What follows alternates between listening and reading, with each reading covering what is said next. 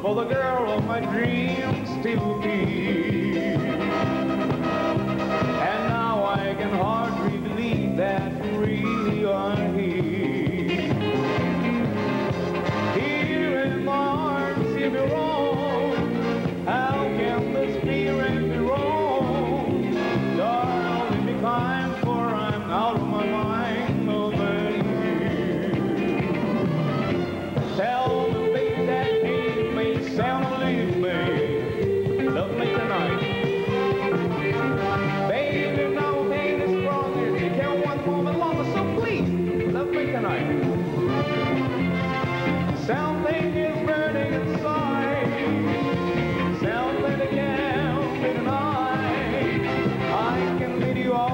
I know.